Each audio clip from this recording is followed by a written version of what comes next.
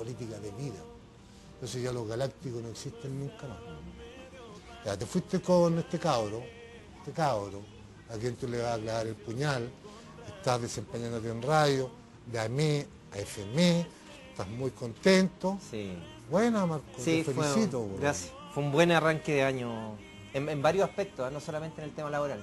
¿Amoroso también? No, no, no, no, no, eso está relegado a, a la novena prioridad. Me refiero con mi hija, muy bien, muy bien Ah, con ella. ¿sí? Sí, ¿Y los otros te gusta la Manuela?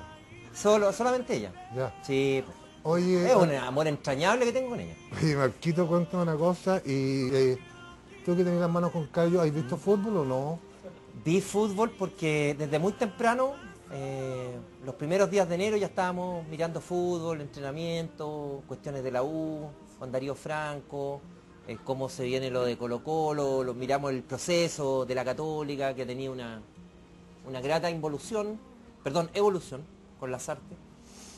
No, harto. Y fundamentalmente, Eduardo, en este tercer mes del año, en donde estamos todos, yo creo que consciente o inconscientemente mirando el partido de Chile con Perú, que va a ser bravísimo. Te tocó duro San Paoli, a empezar con Perú con, por- y con Uruguay, Sí, viejo chico Porque- tuvo mala suerte, ¿eh? Porque lo ordinario de la prensa de Perú, ¿ya? Yo me acuerdo cuando las últimas noticias publicó a lo ordinario ese del, de un periodista peruano, no sé si será periodista, weón, ¿ah? tiene una pinta ordaca e indígena weón, que no te podías imaginar. Y la, y la, la entrevista era dos páginas y el, el diario escribió conche ¿Ya? Que el peruano me decía a mí, o sea, y el ¿A diario, el diario chileno, entonces, y pusieron al primer chileno que mataría a. O sea, y el diario se prestó para eso. Y además el periodista que escribió le agregó su coseta, este es un periodista así, mejor mirado por la sociedad, una cosa así. Ya. Y yo le veía ahí la pinta a este indígena. Y decía, ¿qué onda los chilenos? Mm. ¿Qué onda lo- ¿Hasta dónde puede llegar el odio? Bueno, esto es raíz del partido de Chile-Perú, que estos creen que es la guerra del Pacífico, y ahora va unido con la Haya.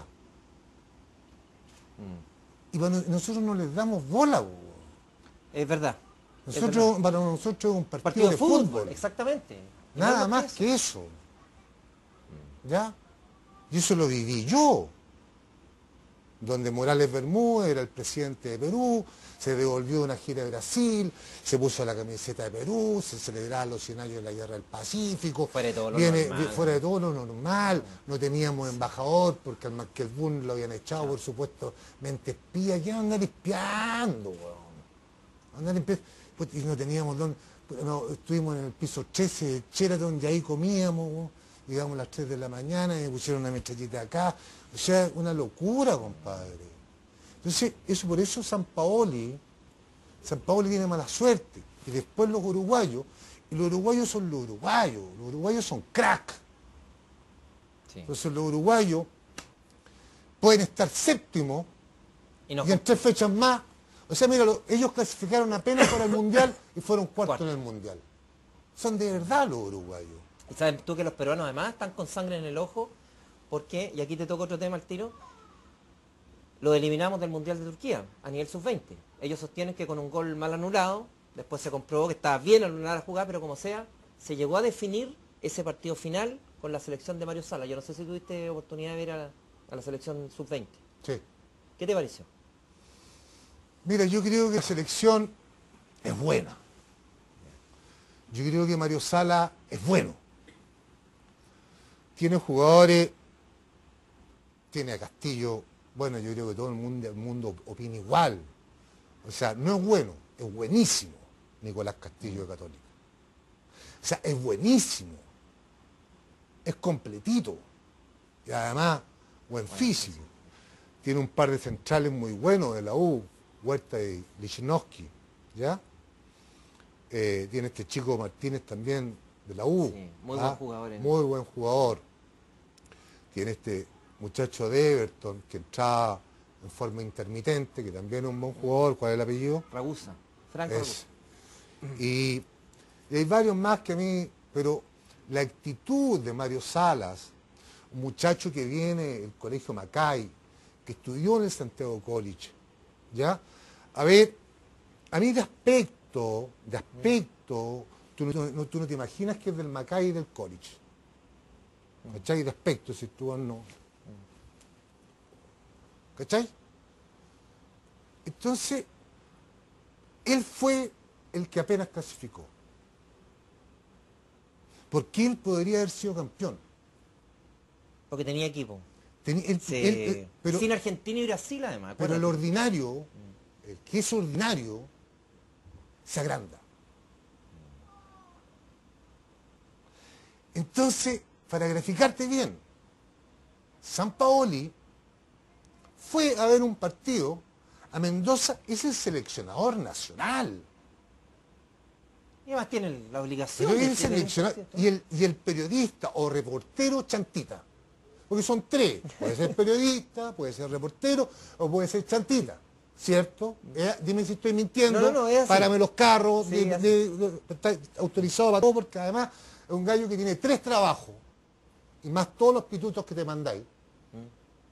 O sea, estáis en otro nivel. ¿Cachai? O sea, tú te traes la moneda y te tiene que, te tiene que recibir inmediatamente el presidente de la República. O sea, vos estáis en otra. Vos sois el nuevo rico de este país. Ojalá. ¿Ya? Dios te oiga. No, si nada de, Dios, nada, nada de Dios No, te oiga, ya. Ya se te empezaron a caer los billetes. Ya. Yo uno aquí, weón, puta, fiel a tierra, compadre, saludo a todos los de tierra, gracias por un nuevo contrato, weón. Ya, te voy y- a ver ya por un Ya. Oye, ¿Qué? y... Oye, ¿dónde ¿firmaste estábamos, ya? compadre? ¿No hay firmado todavía? Pero está ahí a punto. No, Ya. compadre. ¿Dónde Sí. estábamos, compadrito? Estábamos en eh, San Paoli Ah, viajando a Mendoza. Entonces está San Paoli allá y le preguntan a Salas y yo no me acuerdo mucho porque eh, son, son, eh, eran épocas antiguas, o sea, épocas antiguas, eh, meses atrás, y, y en, en- en esa época, enero y febrero, yo para descansar empecé a tomar las pastillas que tomáis tú. Sí. ¿Cachai? sí, te saqué esas, todo. que te, esas que te dejan, pa, que te botan, ¿ya? Que te sacan del alcohol, de la droga, todas las cuestiones. Esa que tomó Goldberg ayer. Esa, esa, esa, esa, esas pastillas. ¿Qué te reí, negro Vallejo? Negro, ven. Negro Vallejo, ven. Yo tomo la cámara, no te preocupes. Ven, negro Y Vallejo. esto lo hicimos varias veces. Vaya tranquilo. Ven, negro Vallejo, ven. Cuidado con el cable, sí. ¿eh? Mira, eh, Negro Vallejo es un amigo que, que tenía yo, pero él se enojó conmigo. ¿Ya? Entonces, este cabro fue al Mundial de Alemania. Perdón, de Francia. Y le pidieron ayuda si podía reportear él para una radio. A mí. ¿Me estás entendiendo o no? Bueno, tenéis que entender o entender acá. O si no te vais, pues, weón. Ya. Entonces este cabro es negro, negro, negro como el hoyo negro. ¿Conocí el túnel de Prado? Sí. Conocí la... Ya. Vos soy igual. Entonces, es negro, Vallejo, negro, negro. Entonces le dieron un billetito para que fuera reportero y informara de la selección chilena del Mundial de Francia a Chile, a una radio AME. Entonces el equipo iba a salir a la cancha y la radio AME acá en Chile necesitaba la formación de Chile. Pero el negro está con el sorete que le hacía así, po, weón. El negro caminaba así, po, weón. Bailaba como José. El negro, el sorete le hacía pa, pa, pa, pa, pa. Entonces el negro ya no aguantó más y se metió, compadre, el celular que tenía que despachar aquí atrás. ¿Cachai? Puta, llegó al baño en Francia. Ahí yo creo que el sorete ya le pegó la maquillada al, al, al, al- al calzoncillo, le, pegó su raspallón, su, su, le pegó su pichicatazo. Ahí el negro, ahí el se saca la cuestión ¡ah! Y se le cae el celular, compadre, adentro el water. Para que me entendáis. ¿Ya? Y empieza a sonar el celular desde Chile. Y el negro, el y está el celular y tuvo que sacarlo. Y el negro pichicateado todo tuvo que informar. Hasta el día de hoy el negro tiene amarillo todo este lado y todo este lado. Ya, negro Vallejo, siéntate ahí. Ya. ¿Es verdad, Marquito, o no? Es una de las anécdotas más, más entretenidas Eso. que hubo en, en Francia 98, el celular de, de Vallejo. Todavía no acordamos de eso. Entonces viene y Mario Salas, Marco, tú que me tocaste el tema, que yo lo encuentro un muy buen entrenador, que su equipo es muy bueno, los cabros chicos estos son muy buenos, ¿ya? Que él, a mí lo único que me interesa son los llamados telefónicos de, de mi señora y de mi familia. No. Se agrandó. Si eres ayudante, el pelado Acosta y venir de Barnechea, po. Pero pégatelo ubicado, po. ¿Cachai? La del roto. ¿Sabes tú Entonces por eso me... Macay, Santiago Colich, como que no me calza. esa selección, Eduardo, jugó A ver, Eduardo, 8 o 9 partidos? Martín. Eduardo, Martín, vengan para acá. Cáchate, po, weón. Y mira para atrás, acá, dime de él. ¿Puedo usar el megáfono? que ya llévenselo para afuera y empiecen a gritar allá al tío Cristian Reyes. Es un tío bien delgado, Yayo. Eso, vayan allá a gritarle, uno flaquito. ¿Cachai? Es una cuestión, es una cuestión de clase. A mí, ¿sabes lo que me llamó la atención? De que el equipo no podía tener más expulsados. O sea, hay, hay un problema de trastorno de personalidad de Mario Sala que lamentablemente se lo proyectó a sus jugadores. En todos los partidos, si no expulsaban a alguien de Chile, era expulsado él. Entonces tú dices, ¿está preparado para ir a un mundial? ¿O qué tiene que hacer él para convertirse en un técnico que sea líder de un grupo que va a disputar un campeonato del mundo? Si tuvimos récord de expulsados, pero récord en la historia. Todos los partidos Chile los terminó con uno, con dos jugadores menos. Y él también expulsado. Y él también expulsado. Si los últimos partidos, acuérdate que los, los estaba mirando en, en el, desde una caseta. desde una- Entonces, ojo con eso. Si no es llegar y decir, él es buen, los para bien dentro del campo de juego.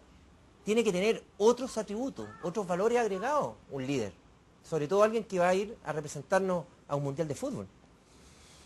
Bueno, eh, ya tú, lo, que- lo- lo- lo que- lo que tú acabas de decir yo lo comparto absolutamente, Marco, porque yo ya di mi opinión de lo otro. ¿Ya?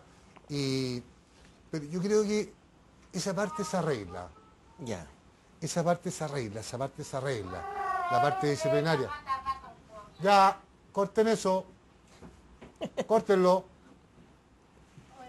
Ya, o si no, los voy a llevar a ver un partido de Alexis Sánchez. ¿Ya? Beso, papá. Ya, te llevo a ver un partido de Alexis, eh, te, te hago ver en ESPN a Alexis Sánchez. No. Para que veas cómo hace pared y cómo la para. Ya. Oye, eh, ya, esa parte disciplinaria puede tener arreglo. Porque todos en un momento en la vida hemos sido indisciplinados. Eh, en lo otro, lo que me preocupa a mí es la ordinaria. San Paoli es el seleccionador nacional y merece todo el respeto súbditos. Entonces él se agrandó porque esa cuestión cuando la dijo cuando estaban invictos. Y eso es lo preocupante. Correcto. Y después se vino así.